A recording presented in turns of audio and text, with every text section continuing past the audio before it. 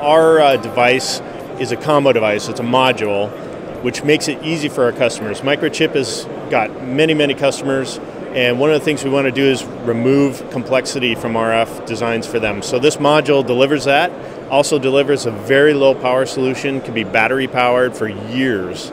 Um, it's part of a 15.4 radio, but it's sub gigahertz. And why that's important is um, for robustness. So if you're in an environment that's a very difficult RF environment, um, block building, for example, this this sub gigahertz technology can reach through that into into the next room. And normally you're going to have many sensors throughout a building. Um, they all need to come to a central place, and then you'll have a connection to the cloud uh, via Wi-Fi or something like that. So we have a secure way of doing that as well. So customers really like the size of the module. It's the smallest uh, 15.4 sub-gigahertz module you can buy. Um, they also really like the low power. It allows them to do battery powered.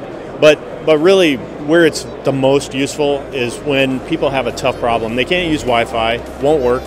Uh, they might think about LoRa, but it, the data rate might be too slow, so you need something in between. This is the perfect solution for that.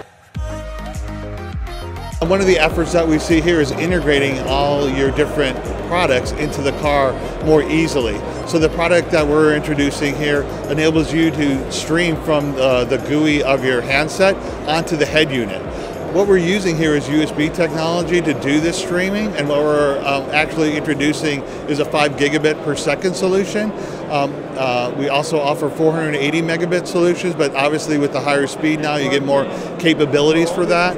And then, um, in order to support these handsets, you have to have a technology to swap between a USB device and a USB host. That's integral to, to offering this solution and getting that integration in uh, to the head unit. Now, I think what's, what's great about Microchip is we have you know such a wide portfolio of microcontrollers, of RF, of IoT solutions, and now what we can do is bring those together uh, for home you know, networking applications, then tying those into the web.